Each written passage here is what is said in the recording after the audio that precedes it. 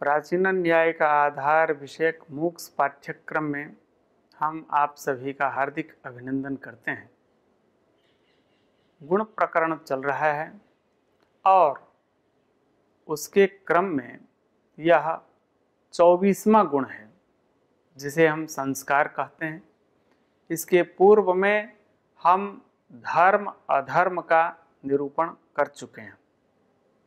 अभी संस्कार का निरूपण हो रहा है। संस्कार में सबसे पहले उसके साधर्म का निरूपण करेंगे। संस्कार का साधर्म क्या है? अतः शेष गुणा सर्वे मता एक वृत्तया। यह जो संस्कार है, यह एक वृत्तया। एक एक द्रव्य में ही रहता है। इस कारिका से यह सिद्ध होता है, यह संस्कार आत्मा नामक द्रव्य में यह संस्कार रहता है। संस्कार के तीन भेद आएँगे वेग भावना और स्थिति स्थापक जिसमें भावना नामक संस्कार आत्मा में है वेग तथा स्थिति स्थापक ये मूर्त में रहने वाले हैं।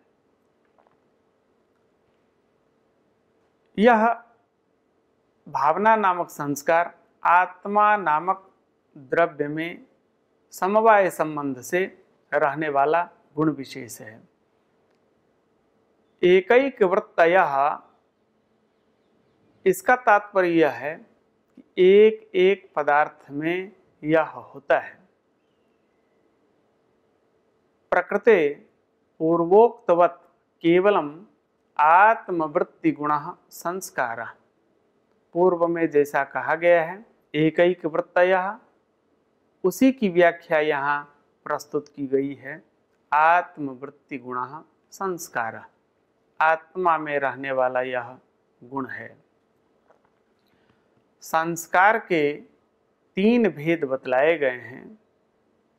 पहला है वेग दूसरा भावना और तीसरा भेद है स्थिति स्थापक कारिका में भी इसी तरह का वर्णन है। संस्कार भेदो वेगोथ स्थिति स्थापक भावने। इस कारिका के माध्यम से इसके त्रैवेद्य का निरूपण होता है। अर्थात वेग स्थिति स्थापक और भावना ये तीन संस्कार के भेद हैं। वेग का निरूपण करते हैं। वेग दो प्रकार का होता है, कर्मज वेग और वेगज वेग। किसी क्रिया से वेग की जो उत्पत्ति होती है, ऐसे वेग को हम कर्मज वेग कहते हैं और वेग से जिस वेग की उत्पत्ति हो, उसे हम वेगज वेग कहते हैं। मूर्त मातृ तो वेग सैत कर्मजो वेगज क्वचित। यह कारिकावली की पंक्ति है। वह जो वेग है, वह कहाँ रहता है? कहते हैं तत्र वेग मूर्तिमत्सु पंचसु द्रव्येशु मूर्त संज्ञक जो पाँच द्रव्य हैं, उसमें यह वेग रहता है। निमित्त विशेषापेक्षात कर्मणो थे किसी निमित्त विशेष को पाकर के क्रिया होती है और क्रिया से वेग की उत्पत्ति हो जाती है। कहीं वह कारण गुण पूर्वक भी उत्पन्न होता है, अर्थात वेग का कारण वेग ही होता है। कर्मज और वेगज इसके दो उदाहरण हैं। मन में रहने वाले जो गुण हैं, वह है संख्या, परिमाण, पृथकत्व संयोग विभाग और यही वेग नामक संस्कार। ये गुण मन में समवाय संबंध से विद्यमान होते हैं। आपको हम पुनः स्मरण दिला दें। एक श्लोक ऐसा है, वह श्लोक बतलाता है कि कौन, कितने गुण किस किस द्रव्य में है। वह श्लोक है वायोर्नवैकादश तेजसो गुणा जलक्षिति प्राणभृताम चतुर्दश, दिक्कालयो पंच सदैव चांबरे महेश्वरेष्टौ मनसस्तथैव च। एतावता यह आठ मन में रहने वाले गुण होते हैं। स्थिति स्थापक संस्कार जो है, उसके संबंध में कहा गया है स्थिति स्थापक संस्कार क्षित केचि चतुर्षपी अतीन्द्रियसौ विज्ञेय क्वचित स्पंदेपि कारणम। यह जो स्थिति स्थापक संस्कार है, वह पृथ्वी में है। किसी का कहना है कि यह पृथ्व्यादि चतुष्टय में है। यह स्थिति स्थापक संस्कार अतीन्द्रिय है, अर्थात किसी भी इंद्रिय से हम स्थिति स्थापक संस्कार का प्रत्यक्ष नहीं कर पाते हैं। स्थिति स्थापकस्तु स्पर्शवद द्रव्येषु वर्तमान धनावयव सन्निवेश विशिष्टे कालांतरावस्थासु स्वाश्रय अन्यथा कृतम यथावत स्थापयति।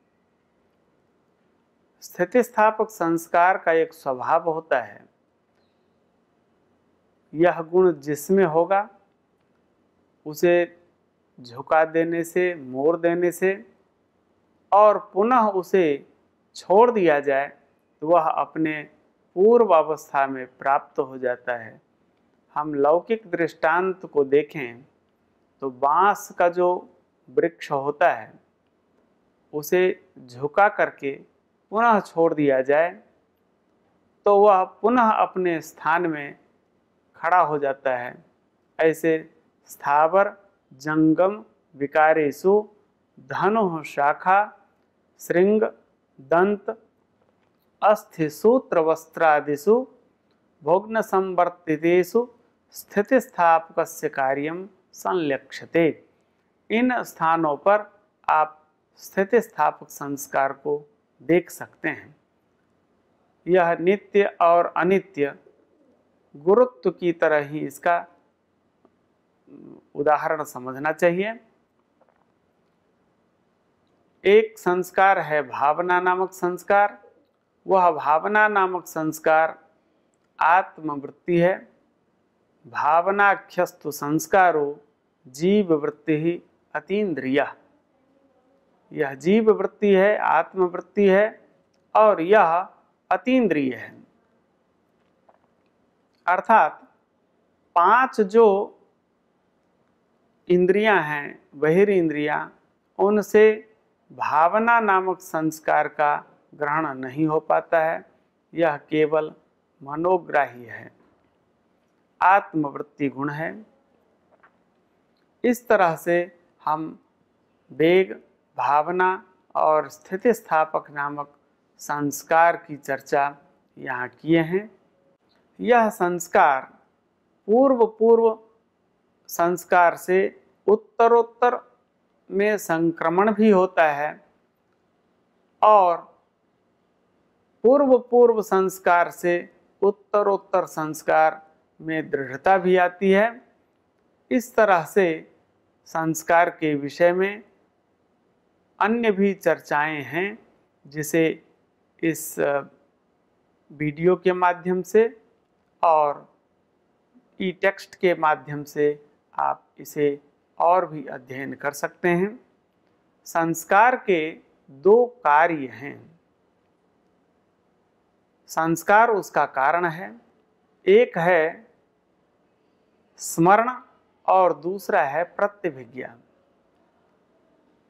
संस्कार स्मरण में और प्रतिभिज्ञा में कारण होता है। कारिकावली में कहा भी है स्मरणे प्रतिभिज्ञायाम मप्यसौ हेतु रुच्यते।